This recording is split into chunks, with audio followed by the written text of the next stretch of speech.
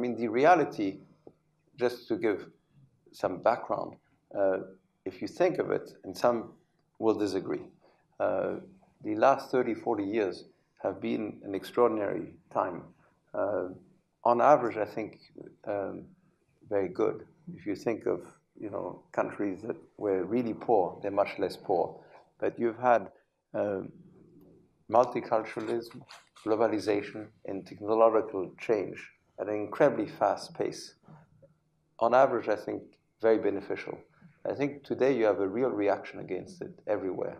So that's why you have, um, uh, because it's been too fast. I mean, we are sort of, we are animals, analog creatures, and uh, the, the pace of change has been digital. So going back to this idea of uh, nationalism, uh, people react, they become very conservative.